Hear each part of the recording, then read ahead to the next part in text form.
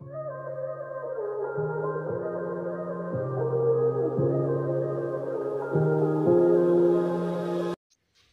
Guys ನಿಮ್ಮೆಲ್ಲರಿಗೂ ನನ್ನ ಚಾನಲ್ನಲ್ಲಿ ವೆಲ್ಕಮ್. ಸೊ ಗೈಸ್ ನಾನು ನಿಮ್ಗೆ ಆಲ್ರೆಡಿ ಹೇಳಿದ್ದೆ ಲೈಕ್ ನಾನು ನಿಮಗೆ ಮ್ಯಾರೇಜ್ ರಿಲೇಟೆಡ್ ಸ್ವಲ್ಪ ಟಿಪ್ಸ್ ಕೊಡ್ತೀನಿ ರೆಮಿಡೀಸ್ ಹೇಳ್ತೀನಿ, ಅದನ್ನು ನೀವು ಫಾಲೋ ಮಾಡಿ ಅಂತ. ಸೊ ನಾನು ತುಂಬ ಸರ್ಚ್ ಮಾಡಿಬಿಟ್ಟು, ಆಮೇಲೆ ತುಂಬ like not one two remedies ನಾನು ನಿಮಗೆ ನಿಯರ್ಲಿ ಟ್ವೆಂಟಿ ರೆಮಿಡೀಸ್ ಕೊಡ್ತೀನಿ. ಬಿಕಾಸ್ ಒಬ್ರೊಬ್ರಿಗೆ ಒಂದೊಂದು ರೆಮಿಡೀಸ್ ಸೂಟ್ ಆಗೋ ಥರ ಇರುತ್ತೆ. ಇಲ್ಲ, ನೀವು ಎಲ್ಲ ಮಾಡ್ತೀನಿ ಮ್ಯಾಮ್ ಏನಾದರೂ ಆಗಲಿ, ನಾನು ಮದುವೆ ಆಗಬೇಕು.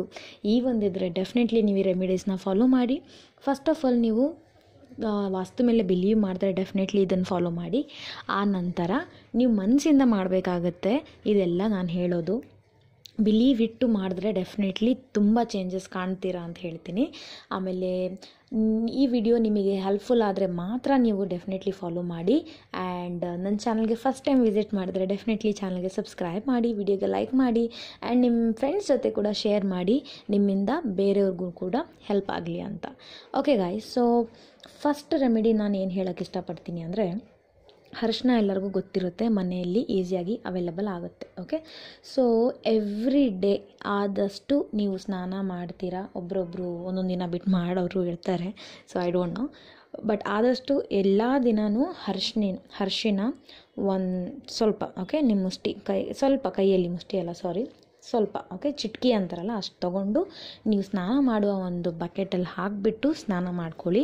ಇದರಿಂದ ತುಂಬ ನಿಮಗೆ ಡಿಫ್ರೆನ್ಸ್ ಕಾಣಿಸುತ್ತೆ ಮ್ಯಾರೇಜ್ಗೋಸ್ಕರ ಓಕೆ ಆ್ಯಂಡ್ ಗೈಸ್ ಇನ್ನೊಂದು ಮಾತು ನೆನ್ಪಿಟ್ಕೊಳ್ಳಿ ನಾನು ಇಲ್ಲಿ ಹೇಳ್ತಿರೋ ಎಲ್ಲ ಟಿಪ್ಸ್ಗಳು ನಿಮ್ಮ ಲವ್ನ ಟ್ರ್ಯಾಕ್ ಮಾಡೋಕ್ಕೂ ಇರುತ್ತೆ, ಇಲ್ಲ ಮದುವೆ ನಿಮ್ಗೆ ಆಗ್ತಾನೇ ಇಲ್ಲ, ಮದುವೆ ಮಾಡ್ಕೊಳ್ಳೋಕ್ಕೂ ಹೆಲ್ಪ್ ಆಗುತ್ತೆ.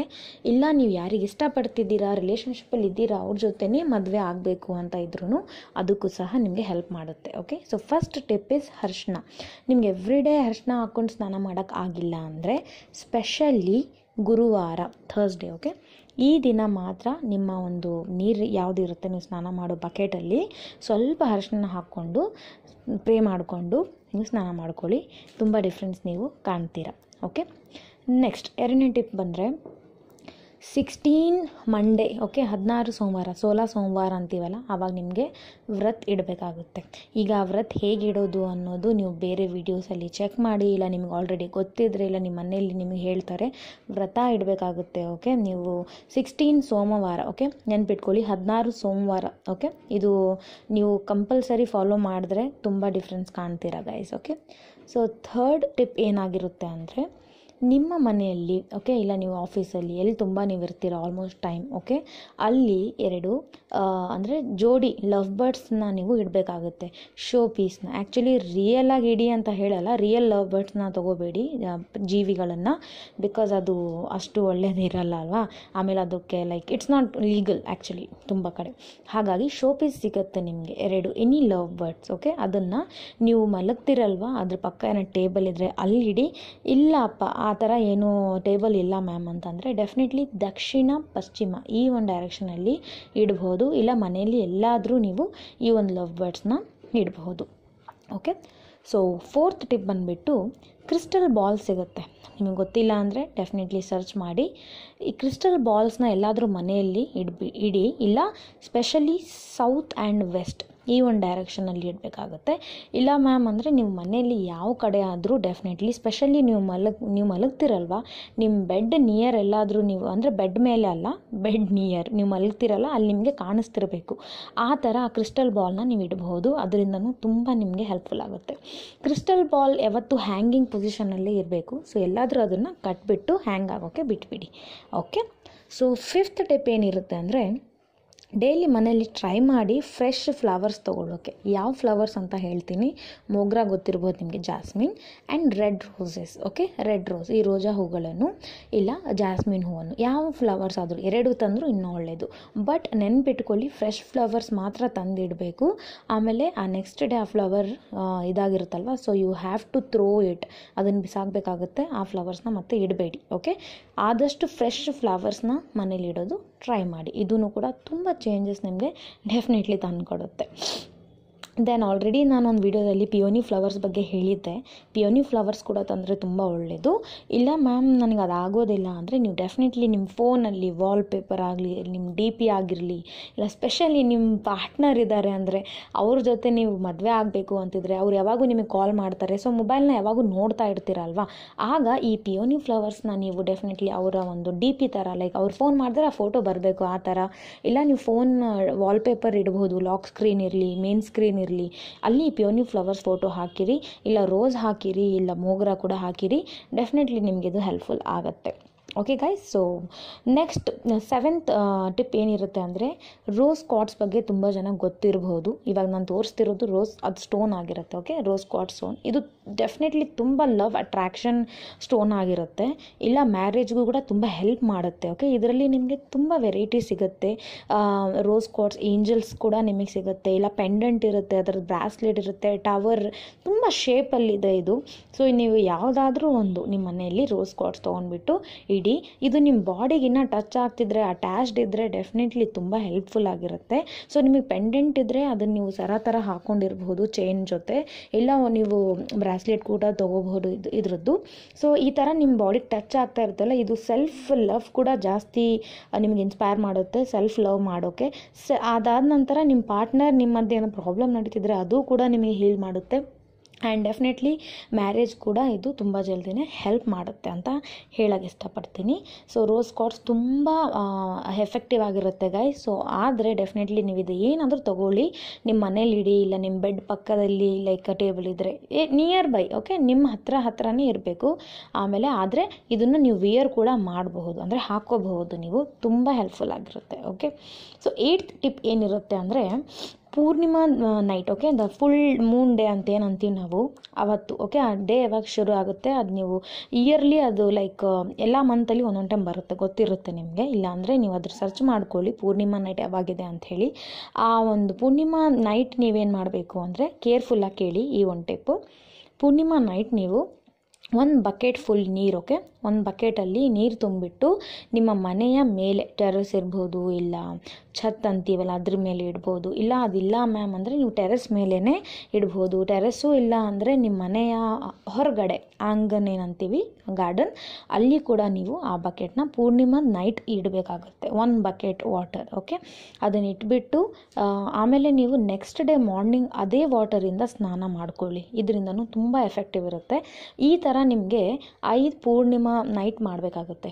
Five moon full moon nights ಅಂತ ಹೇಳ್ತೀವಿ ಓಕೆ ಸೊ ಇದು ಫೈವ್ ಟೈಮ್ಸ್ ಮಾಡಬೇಕಾಗುತ್ತೆ ನೀವು. ಆಗ ನೀವು ಡೆಫಿನೆಟ್ಲಿ ಇದನ್ನು ತುಂಬ ಎಫೆಕ್ಟಿವ್ ಆಗಿ ಕಾಣ್ತೀರಾ. ಓಕೆ ಗಾಯ್ಸ್ ಸೊ ನೆಕ್ಸ್ಟ್ ನಾನು ಬರ್ತಿರೋದು nine ಟಿಪ್ಪಿಗೆ self love first you have to love yourself ನೀವು ಆವಾಗ ಪಾಸಿಟಿವ್ ಆಗ್ತೀರಾ? ಇದು ಆ್ಯಕ್ಚುಲಿ ತುಂಬ ಇಂಪಾರ್ಟೆಂಟ್ ವಿಷಯನೇ ತುಂಬ ಜನ ಇದು ಮಾಡಲ್ಲ. ನಾವು ಯಾರಿಗೆ ಇಷ್ಟಪಡ್ತಿರ್ತೀವಿ, ಅವ್ರಿಗೆ ತುಂಬ ಪ್ರೀತಿ ಮಾಡ್ತಾ ಇರ್ತೀವಿ, ಅವ್ರಿಗೆ ತುಂಬ ಇಷ್ಟಪಡ್ತೀವಿ, ಅವ್ರ ಬಗ್ಗೆನೇ ಕೇರ್ ಮಾಡ್ತೀವಿ. What about yourself okay? ನಿಮ್ಮನ್ನು ಫಸ್ಟ್ ನೀವು ಪ್ರೀತಿ ಮಾಡೋದು ಶುರು ಮಾಡಿ. ನೀವು ನಿಮ್ಮನ್ನು ಯಾವಾಗ ಪ್ರೀತಿ ಮಾಡ್ತೀರಾ? ಜನ ನಿಮ್ಮನ್ನು ಜಾಸ್ತಿ ಪ್ರೀತಿ ಮಾಡ್ತಾರೆ. ನೀವು ಯಾವಾಗ ಹ್ಯಾಪಿ ಇಡ್ತೀರಾ? ಜನ ನಿಮ್ಮ ನಿಮ್ಮ ಜೊತೆ ತುಂಬ ಹ್ಯಾಪಿಯಾಗಿಡ್ತಾರೆ ಇಲ್ಲ, ಅವ್ರು ನಿಮ್ಮ ಕಂಪ್ನಿನ ಇಷ್ಟಪಡ್ತಾರೆ. ಲೈಕ್ ಎಷ್ಟು ಚೆನ್ನಾಗಿರ್ತಾರಲ್ಲ ಇವರು. ಯಾವಾಗೂ ನಗ್ನಗ್ತಾ, ಖುಷಿಯಾಗಿ, ತಮ್ಮ ಬಗ್ಗೆ ಎಷ್ಟು ಕೇರ್ ಮಾಡ್ತಾರೆ. ಈ ಒಂದು ಫೀಲಿಂಗ್ಸ್ ತುಂಬ ಇಂಪಾರ್ಟೆಂಟ್ ಆಗಿರುತ್ತೆ guy so start loving yourself ಅಂತ ಹೇಳ್ತೀನಿ. ಆಮೇಲೆ ವಿಸ್ವಲೇಷನ್ ಕೂಡ ಮಾಡಿ. ನನ್ನ ಲೈಫ್ ಹೀಗಿರುತ್ತೆ, ಹಾಗಿರುತ್ತೆ. ಆದಷ್ಟು ಬೆಳಗ್ಗೆ ಎದ್ದುಬಿಟ್ಟು ಒಳ್ಳೆ ಒಳ್ಳೆ ಥಿಂಗ್ಸ್ನ ನೋಡಿ. ಇಲ್ಲ ಒಳ್ಳೆ ಒಳ್ಳೆ ಒಂದು ವಿಚಾರಗಳನ್ನ ಫಾಲೋ ಮಾಡಿ. ಡೆಫಿನೆಟ್ಲಿ ನಿಮ್ಮ ಚೇಂಜಸ್ ಇದರಿಂದನೂ ನೀವು ಕಾಣ್ತೀರಾ ಓಕೆ ಟೆಂತ್ ಟಿಪ್ ನಂದು ಏನಿರುತ್ತೆ ಅಂದರೆ, ಇದು ತುಂಬ ಇಂಪಾರ್ಟೆಂಟ್ ಟಿಪ್ ಇರುತ್ತೆ ಗೈಸ್ ಲಾ ಆಫ್ ಅಟ್ರಾಕ್ಷನ್ದಲ್ಲೂ ಇದಿದೆ. ನೀವು ಯಾರಿಗೆ ಒಳ್ಳೆ ಥಿಂಕ್ ಮಾಡ್ತೀರಾ, ಆ ಒಂದು ಒಳ್ಳೆಯ ಥಿಂಗ್ ಕರ್ಮ ನಿಮಗೆ ಮತ್ತೆ ಸಿಗುತ್ತೆ. It will come back to you okay ಈ ಮಾತು ತುಂಬ ಇಂಪಾರ್ಟೆಂಟ್ ಕೆಲವೊಬ್ರು ಏನಿರ್ತಾರೆ ಅಂದರೆ, ಇವಾಗ ನಿಮ್ಮ ಮ್ಯಾರೇಜ್ ಆಗ್ತಿರಲ್ಲ ಅಂದ್ಕೊಳ್ಳಿ ಸೊ ನಿಮ್ಮ ಫ್ರೆಂಡ್ ಇರ್ತಾರೆ ಸ್ಪೆಷಲಿ ಫ್ರೆಂಡ್ಸ್ ಬಗ್ಗೆ ನಾನು ಎಕ್ಸಾಂಪಲ್ ಕೊಡ್ತೇನೆ. ಅವ್ರ ಮ್ಯಾರೇಜು ಆಗಿರಲ್ಲ. ಓ, ಇವ್ರ ಮ್ಯಾರೇಜ್ ಆಗ್ತಿಲ್ಲ, ನಂದು ಆಗ್, ನಂದು ಆಗ್ತಿಲ್ಲ, ಓಕೆ. ನನಗಿಂತ ಮುಂಚೆ ಅವಳ್ದು ಆಗಬಾರ್ದು. ಈ ಒಂದು ಥಿಂಗ್ಸ್ ಆ್ಯಕ್ಚುಲಿ ಲೇಡೀಸಲ್ಲಿ ಸ್ವಲ್ಪ ಜಾಸ್ತಿ ಕಾಣಿಸುತ್ತೆ. ಈ ಒಂದು ಥಾಟ್ ಇಟ್ಕೋಬೇಡಿ. ನೀವು ನಿಮ್ಮ ಮದುವೆ ಆಗ್ತಾ ಇಲ್ಲ ಅಂದ್ರೂ ನಿಮ್ಮ ಫ್ರೆಂಡ್ ಅನ್ಮ್ಯಾರಿಡ್ ಇದ್ದರೆ ಅವ್ರಿಗೆ ಸಪೋರ್ಟ್ ಮಾಡಿ, ಅವ್ರ ಮದುವೆ ಆಗುತ್ತೆ. ಒಳ್ಳೆ ವಿಷಯ ಶೇರ್ ಮಾಡಿ.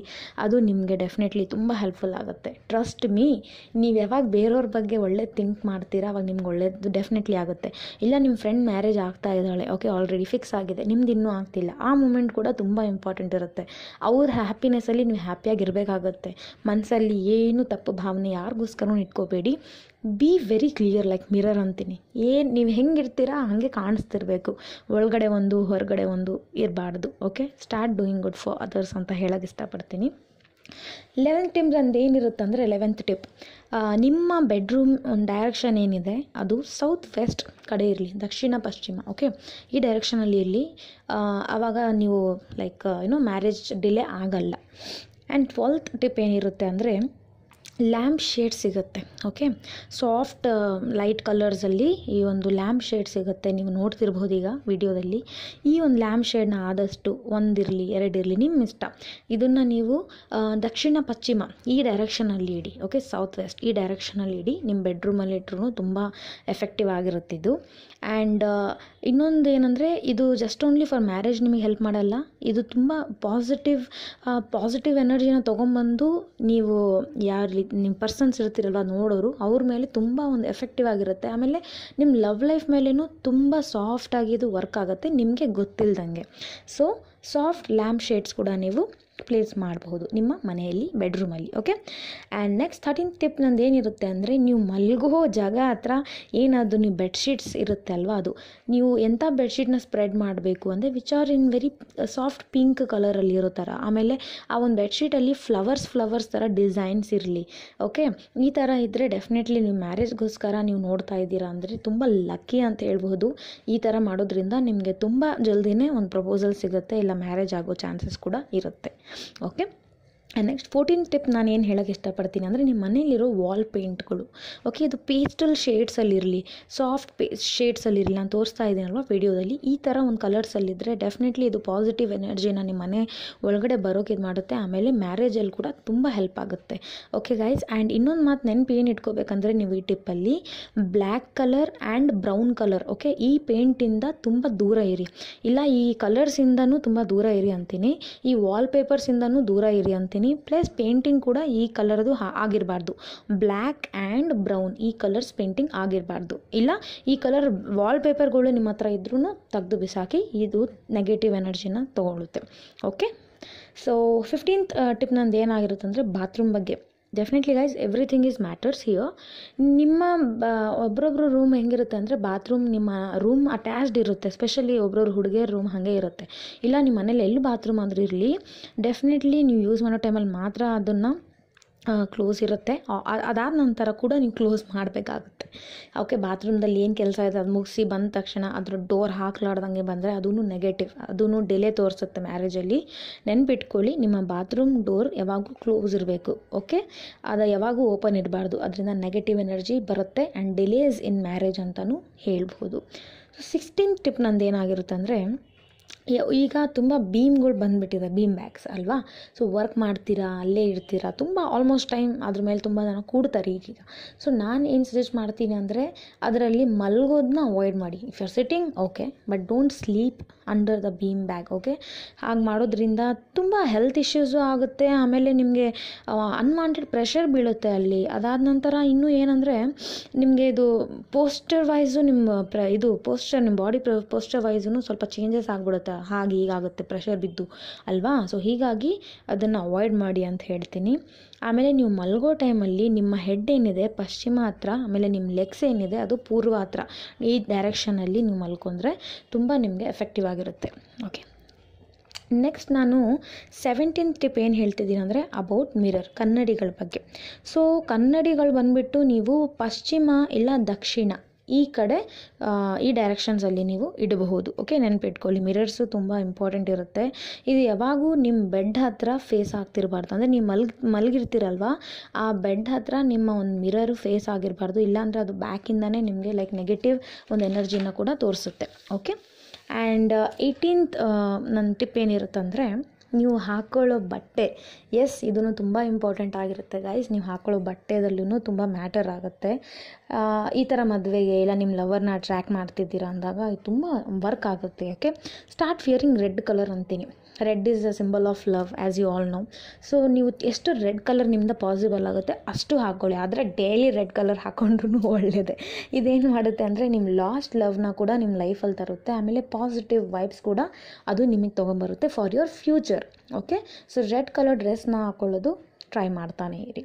ನೆಕ್ಸ್ಟ್ ನೈನ್ಟೀನ್ ಟಿಪ್ ನಂದು ಏನಾಗಿರುತ್ತೆ ಅಂದರೆ ನಲವತ್ತು ದಿನ ಓಕೆ ನೆನ್ಪಿಟ್ಕೊಳ್ಳಿ. ನಲವತ್ತು ದಿನ ದುರ್ಗಾಮ ಪೂಜೆ ಮಾಡಬೇಕಾಗುತ್ತೆ ನೀವು, ದುರ್ಗಾ ಮಾತಾದು ವರ್ಷ you have to do the worship okay ಏನು ಮಾಡಬೇಕು ಅಂದರೆ ಫಾರ್ಟಿ ಡೇಸ್ ಸ್ಪೆಷಲಿ ನಾನು ಈಗ ಹುಡುಗರು ಅಂದರೆ ಕಂಟಿನ್ಯೂ ಮಾಡ್ತಾರೆ ಓಕೆ ಬಟ್ ಹುಡುಗಿಯರಿಗೆ ಪೀರಿಯಡ್ಸ್ ಬರುತ್ತೆ ಓಕೆ ಆ ಪೀರಿಯಡ್ಸ್ ಬಂದಾಗ ನೀವು ಫಸ್ಟ್ ನೀವು ಫಿಫ್ಟೀನ್ ಡೇಸ್ ಮಾಡಿಡ್ತೀರಾ ಅಂದ್ಕೊಳ್ಳಿ ಆ ಪೂಜಾ. ಸೊ ಫಿಫ್ಟೀನ್ ಡೇಸ್ ಆದ ನಂತರ ನಿಮ್ಮ ಪೀರಿಯಡ್ ಬಂದು ಮತ್ತೆ ಫಿಫ್ಟೀನ್ತ್ ಡೇ ಅಂತ ನೀವು ಕೌಂಟ್ ಮಾಡ್ಕೊಳ್ಳಿ. ಆಮೇಲೆ ಮತ್ತೆ ನೀವು ಯಾವಾಗ ಸ್ಟಾರ್ಟ್ ಮಾಡ್ತೀರಾ ಪೂಜಾ. ಆಗ ನೀವು ಅದನ್ನು ಫಿಫ್ಟೀನ್ ಡೇ ಅಂತ ಕೌಂಟ್ ಮಾಡಿಕೊಂಡು ಫಾರ್ಟಿ ಡೇಸ್ವರೆಗೂ ನೀವು ದುರ್ಗಾ ಮಾತಾ ಪೂಜೆ ಮಾಡಬೇಕಾಗುತ್ತೆ, ಅರ್ಚನೆ ಮಾಡಬೇಕಾಗುತ್ತೆ. ಆಮೇಲೆ ಎವ್ರಿ ಮಾರ್ನಿಂಗ್ ಮಾಡಬೇಕಾಗುತ್ತೆ. ಫಸ್ಟ್ ಬಾತ್ ನೀವು ಸ್ನಾನ ಮಾಡಿಕೊಂಡು, ಆಮೇಲೆ ಫ್ಲವರ್ಸ್ ಎಲ್ಲ ನೀವು ಏರಿಸ್ಬೇಕಾಗುತ್ತೆ.